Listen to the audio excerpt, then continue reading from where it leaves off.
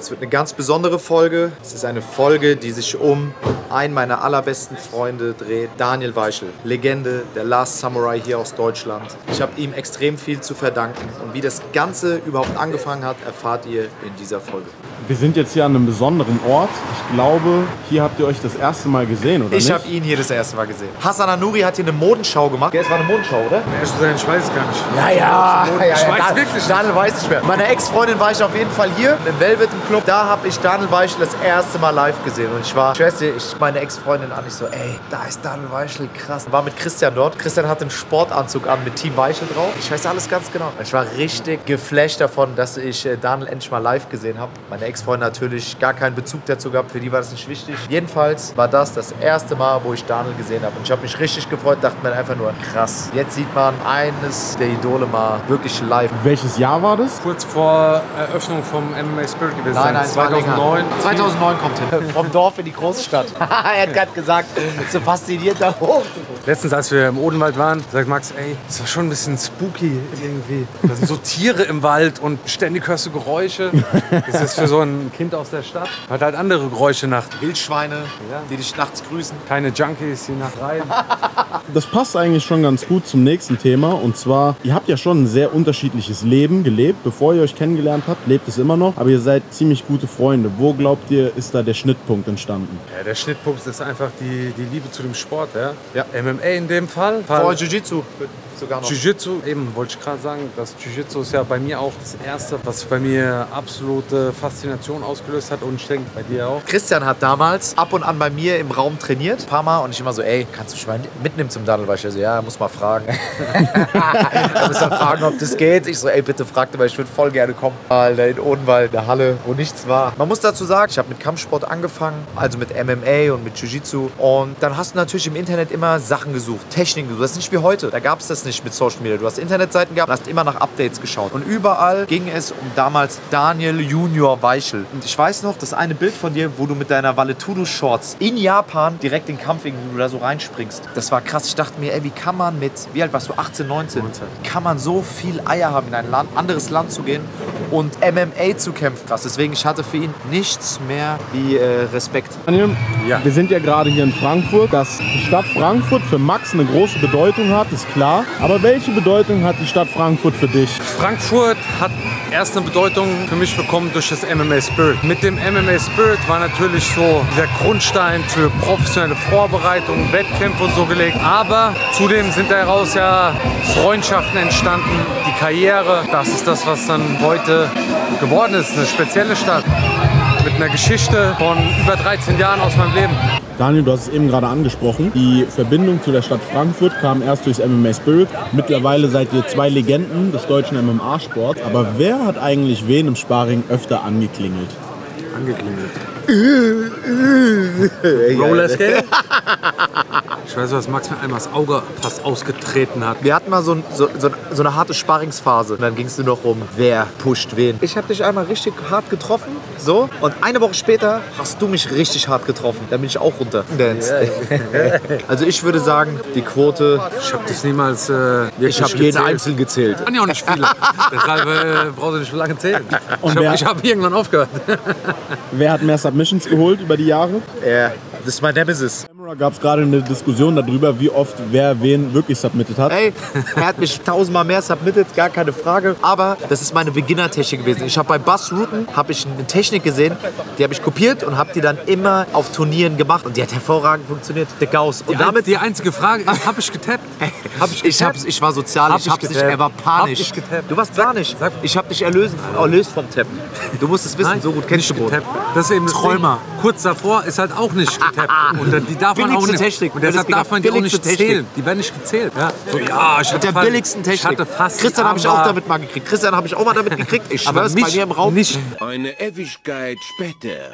Es war meine Gnade, die dich verschont hat. an Gnade. Tag. Es gibt keine Gnade. Ich hätte ja tappen können. Ey, das es ist wie diese Abi-Dings gewesen. So, ey, das ist Ah, Daniel, das ist kannst äh, du ja respektlos jedes- mit der billigsten ja Technik im Jiu-Jitsu dich zu tappen. Ich sag, wenn du Schwitzkastentechnik. Heel Hook, Heel Hook brauchst du gar nicht ziehen. Ich tapp einfach so und sage, ja, okay, da passiert was. Aber das, das war nichts. Der Flusskrebssalat sieht ein bisschen aus wie Diätessen. Du bist ja jetzt retired und musst kein Gewicht mehr machen. Aber was ist so die härteste Story vom Abkochen, die dir jetzt so einfällt? Ich muss sagen, so die ersten Weight Cuts auf 66 Kilo waren schon auf jeden Fall knackig. Ja. Was war dein erster Bellator-Turnier? Ja. Bellator-Turnier war das erste Mal Weight Cut. Das war der erste Weight Cut. Der erste war nicht mal der schlimmste, obwohl es da auch ähm, Schwierigkeiten gab. Die Sauna war nicht heiß und ja, war schwierig, aber da war ich im Vorfeld, war, war ich weiter unten. Das zweite Mal war einfach nur vier Wochen später. Nach dem ersten Cut habe ich auch viel gegessen, aber ich habe noch mehr gegessen nach dem zweiten Weight Cut. Und dann war ich, glaube ich, schon so auf 77, 5 oder so und wusste, ich muss in fünf Wochen wieder auf 66 Kilo kommen. Das war, glaube ich, mit der Gegen Matt, härtesten Matt Bissett. gegen Desmond Green. Danach fing es erst an, dass ich wirklich mich noch konkreter mit den Weightcuts auseinandergesetzt habe, mit der Ernährung, Gewicht machen und so weiter. Das wurde danach erst richtig gut. Also man muss sagen, Daniel hört schon mittlerweile sehr offen für Musik. Davor war das aber nicht so. Chartbreaker, Radiohits. Ja, du hast Radio gehört. das Radio. Meinetwegen, ich nehme es gerne an. Genauso war dein Filmgeschmack. Niemals. Absolut. Niemals. Der kannte zwei Filme, die ich nicht kannte und das war's. Nein, nein, nein, genau. waren das? Was, was hast du mir gezeigt? Welchen hast du mir gezeigt? Das Ding ist, Raging Bull willst du ich, jetzt kommen. Du kommst genau, immer mit, ich habe ihm einen Film Der gezeigt. kommt immer mit Raging der Bull. guckt nicht mal diesen Klassiker an. Nein, Klassiker. Raging Bull ist ein guter Klassiker, kann man nichts sagen. Weiß ja nicht, hast du den nicht mal gesehen? ja, Er egal. hat die DVD einfach jahrelang zu Hause gehabt und nicht geguckt. Nur mal zum Verständnis, wo sind wir jetzt hier eigentlich gerade? Der Dompteur ist frisch ins Haus gezogen und ähm, hier, da seht ihr zum Beispiel sein Telefon.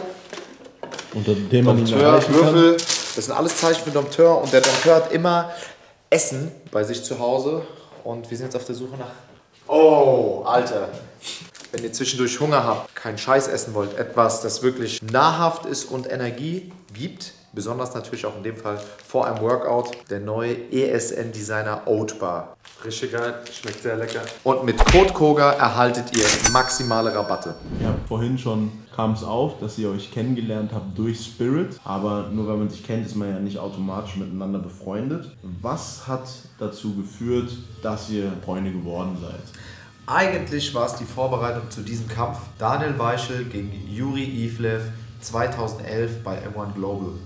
Ja, Wir kannten uns ja vorher schon im Prinzip vom, vom normalen Training, aber das war ein Kampf, ich glaube, ich habe den in zwölf Tagen, zwölf Tage vor dem Kampf, habe ich den angenommen. Ja, ich habe jemanden gebraucht, mit dem ich arbeiten kann und mit dem ich Gewicht machen kann.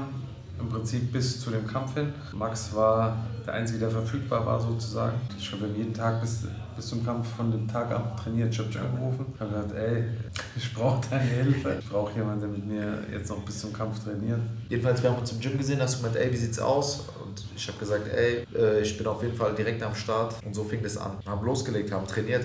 Es war für mich brutal, weil ich habe mir selber gesagt, ey, du hast jetzt die Chance, mit Daniel richtig krass zu trainieren. Dieses letzte Stückchen Feinschliff machst du jetzt nochmal mit. Ich habe nur gelernt. Ich habe dann immer in meinen Notizblock reingeschrieben, was ich trainiert habe, auch habe das einfach wiederholt. Ich weiß noch genau, was wir getrainiert haben. Pendel, Pendel, Pendel, Pendel, boom, boom, muss auch sagen, zu dem Zeitpunkt gab es ja auch das Pro-Team nicht so in der Form, wie es das heute gab. Wie gesagt, wir haben eigentlich nur individuelle Einheiten dann gemacht zum Kampf hin, haben es getroffen, sind die Dinger durchgegangen, die ich gebraucht habe für den Kampf. Wobei, ehrlich gesagt, war ich ein bisschen verzweifelt auf den Kampf. Ich dachte ey, natürlich war es eine Chance, kurzfristig so einen Kampf anzunehmen gegen so einen damals so gerankten und stehenden Gegner mit so einem Namen. Wie gesagt, der hat, glaube ich, fünf oder sechs Siege in Folge durch K.O. oder TKO. Mini. Fedor wurde er auch genannt. Um ehrlich zu sein, wusste ich vor dem Kampf nicht, wie ich den besiegen soll. Bin da rein, habe eigentlich gedacht, okay, keine Ahnung, wie ich das anstelle. Ich werde alles geben und ähm, ey, dann,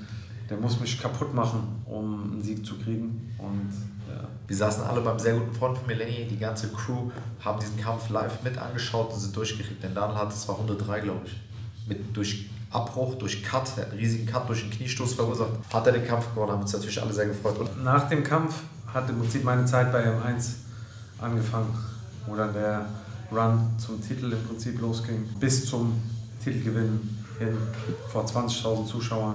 Leute, M1 Global war zu dem Zeitpunkt so krass. Eines der Maximum der Dinge hier auf dieser Welt. Aus Russland eine Organisation. Ich meine, ihr wisst alle, die von da drüben sind äh, alles harte Brocken. Er war wieder mal der Typ, der Cojones hatte und da halt als erstes aufgeräumt hat. Bis zum Titel.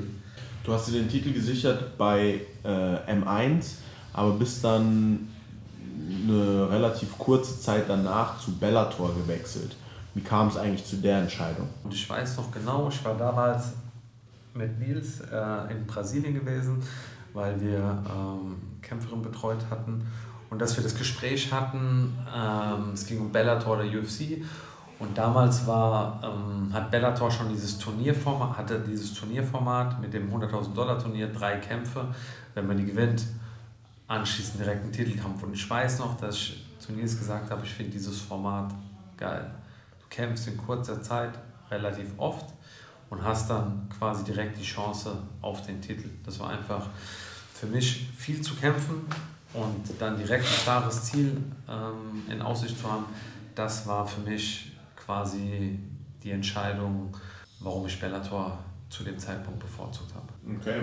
Du bist dann zu Bellator gegangen. Du warst ja sehr lange bei Bellator. Also kannst du deine Zeit bei Bellator zusammenfassen? Ja, im Prinzip ähm, der Anfang war das Turnier.